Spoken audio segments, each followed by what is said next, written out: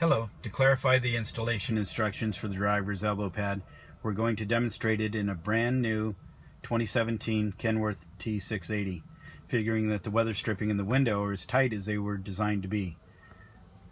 Again, there are three fingers on the bottom of the driver's elbow pad that go down the window and in between the weather stripping. And usually you can just slide it into place with no tools at all.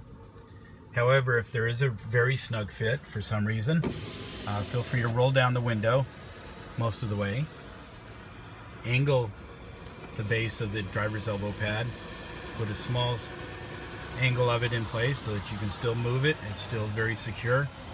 But again, to start with a small angle and roll it into place. But usually, just sliding it down the window is sufficient to make it quite secure. Thanks very much.